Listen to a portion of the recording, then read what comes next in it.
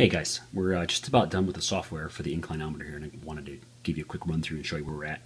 So here's the hardware you get. I call this the uh, backpack. It's going to attach to the back of a screen like that. Um, I have a little minor revision coming in the next circuit board. This is pretty much what it's going to look like. We got your power connector here, screw terminal, so you can bring in 12 volts from the truck, or I'm going to include a little uh, 9 volt battery cap, so you can use that instead. If you don't want to use the screw terminal, when you're looking at the raw board here, if you see before you put the screw terminal on, you could just solder right to these posts here for voltage and ground. Um, here's a connector for the switch. This is that little navigation switch. So this goes up and then down and then pushes in to select. And has this JST connector, it's called. You can plug that in there so you can remove it if you need to.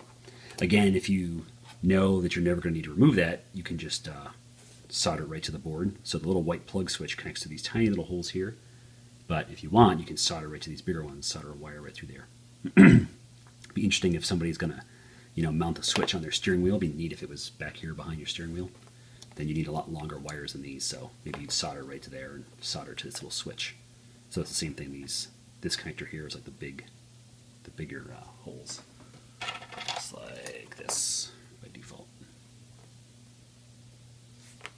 Um, voltage regulator, so you can have the 12 volts coming in. It goes down to 5 volts for this guy. This is where all the software and everything runs. A couple capacitors, smooth out the voltage. There's a little timer, 16 megahertz. Um, there's a contrast knob there for the uh, screen. Here's your basic screen. Normally won't have this. I have this female header soldered on here, so I can connect these two and kind of take them on and off as I'm testing different screens. Um, when you really get it and you'll connect it, it'll be a lot thinner. You know, it'll be more like this probably. So that's those that's soldered actually on there permanently, and it's a lot thinner that way.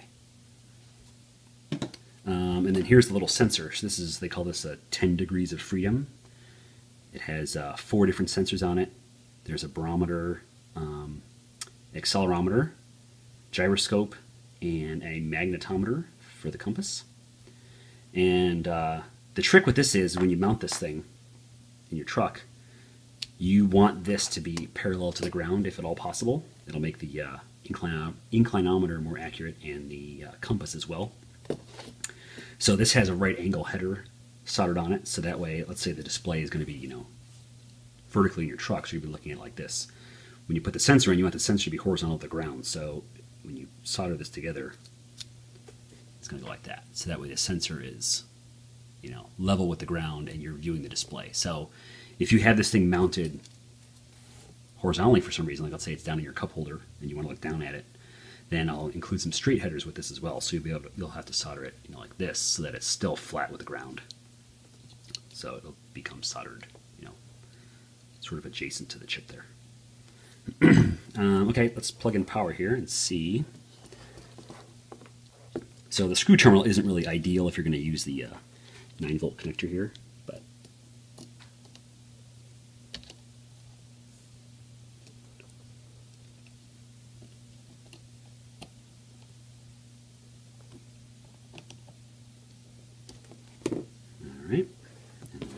Switch here.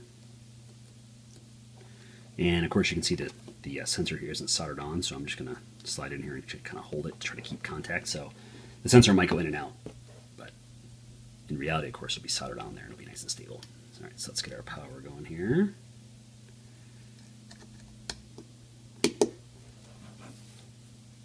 And I love this cap. It's a nice little hard plastic cap, and it covers the terminals, so you know, you can kind of mount this anywhere. You don't have to worry about it grounding out, touching part of the truck or anything. So there's our uh, default screen, is our pitch and roll the inclinometer. And then these are our little navigation switch here.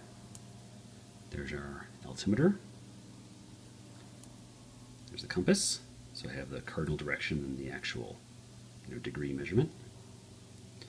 Um, and then here's the, the function I just added, which is the multi-view. So this is showing you everything at once. So there's pitch, it has a little kind of forward and back arrow, roll, left and right, altitude, compass. And then from there, so there is a temperature sensor on one of these boards. However, the, the sensor itself heats up from usage, so I, it is not 86 degrees in this room right now.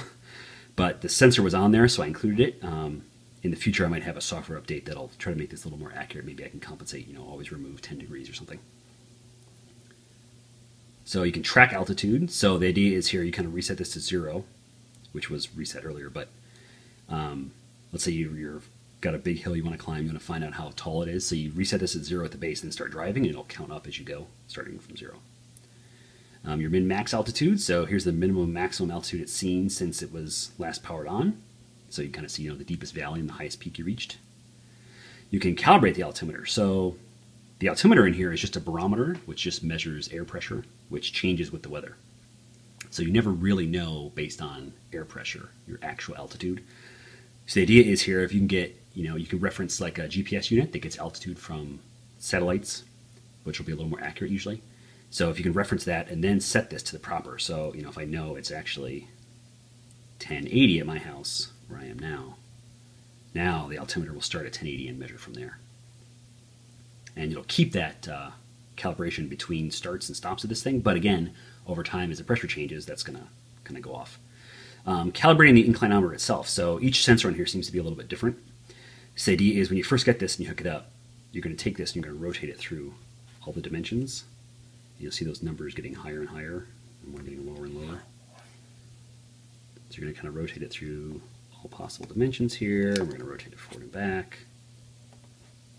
I think the sensor got disconnected, so it kind of reset itself there. But then the idea is then you would set that, and now your incline will be a little more accurate because you've you found the extents of that sensor, left, right, up, down, back, forth. Um, and then I think the final one here is the brightness. So for the regular LED screens, you can set the brightness on them all the way down to off. Um, the OLED screens are just always on or always off. There's no brightness control.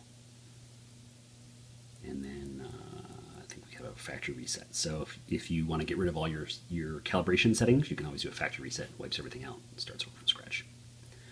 And uh, that's it. I almost forgot to show you guys a couple more uh, features here.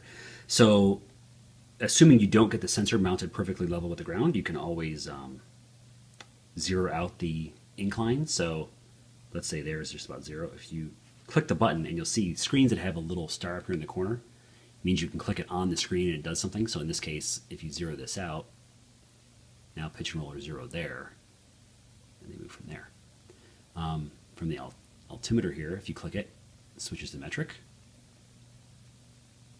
Switch back on the compass. You know, the compass is measuring magnetic north, which is not going to be true north in most places.